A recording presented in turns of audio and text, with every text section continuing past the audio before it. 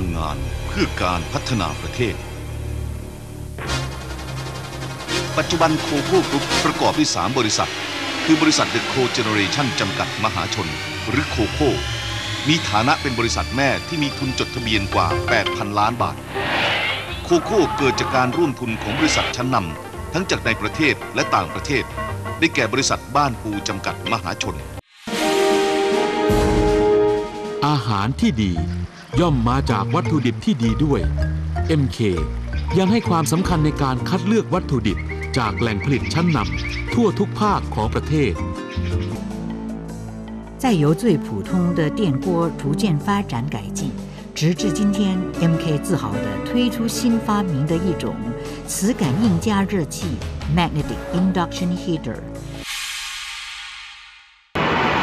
Pacific Pipe Public Company Limited, one of the country's leading manufacturers of steel pipes, is a Thai owned company that has seen a steady growth. We are determined to create quality pipes from Thailand that are acceptable in the world market. Pacific Pipe is a leader in steel pipe manufacturing thanks to its experience of over 30 years. Our factories have a combined capacity of producing about 250,000 tons of black steel pipes, square pipes, and lit channels each year, and 50,000 tons of galvanized pipes a year. The head office of Bangkok Ranch Public Company Limited is in the Bang Pli district of Samut Prakan province. The office houses management and sales staff, as well as the processing plant. Bangkok Ranch is proud that its products are accepted in Thailand as well as throughout the world.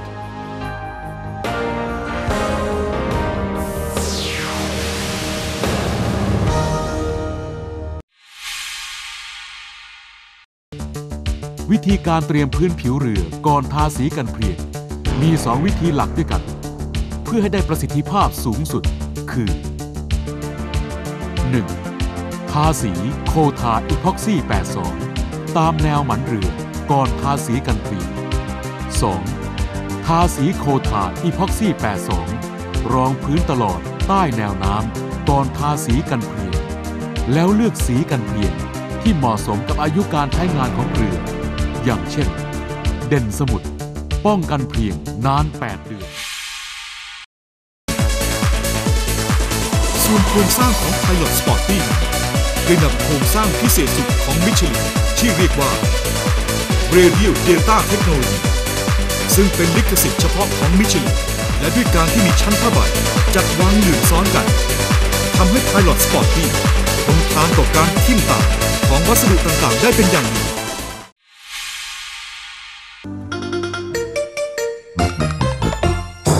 This is the commitment that Walls has delivered to its customers around the world. So everyone is confident that he is having an ice cream of good quality with a variety of his favorite tastes. ด้วยความเข้าใจธรรมชาติของเสียง ผสานกับศิลปะในการถ่ายทอดเสียง และอัจฉริยะทางเทคโนโลยีอย่างลึกซึ้ง มิสเตอร์โนซมุมัตสึโมโตะจึงได้สร้างสรรค์ปรากฏการณ์ครั้งแรกแห่งลำโพง ที่ให้พลังเสียงเร้าใจ